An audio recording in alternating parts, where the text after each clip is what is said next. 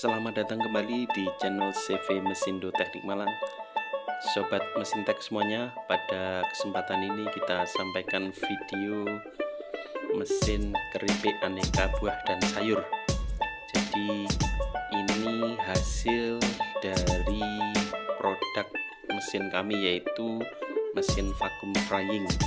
Mesin yang digunakan untuk menggoreng keripik buah atau sayur. Jadi buah atau sayur biasanya dimakan langsung atau dimasak langsung tapi ini bisa meningkatkan harga jual. Nilai jual dari produk itu dijadikan keripik. Macam-macam mulai dari jagung. Jadi jagung ini juga diproses dengan sistem penggorengan vakum dengan mesin vakum frying.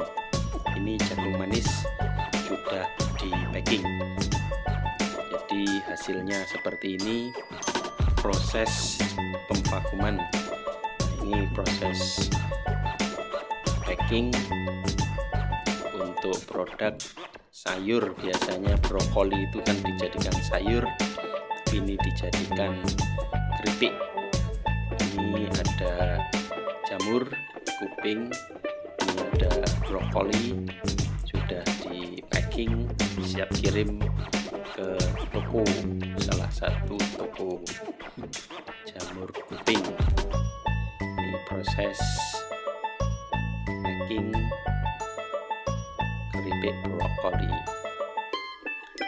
dengan kemasan plastik transparan jadi bisa dilihat agar menarik pada konsumen ketika di display di etalase toko sehingga konsumen mengetahui real atau kondisi asli keripik yang sudah di packing keripik brokoli ini kelihatan dari luar dengan kemasan plastik yang tebal dan transparan.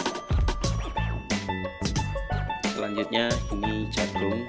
Ini jagung yang diproses adalah jagung manis. Jadi tidak keras beda dengan marning.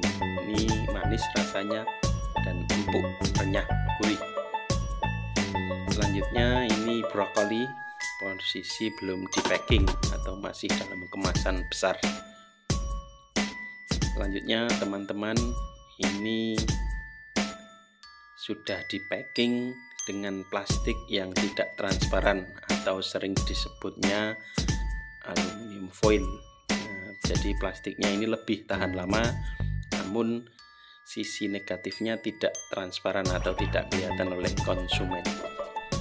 Selanjutnya ini cabai ya keripik yang pedas biasa buat tombong ngantuk. Ini keripik sebagai ekstra saja yaitu keripik usus tapi keripik ususnya ini beda dari yang lain. Kondisi renyah minyaknya juga aman tidak banyak berminyak karena juga melalui proses spinner. Melalui proses spinning atau penirisan minyak.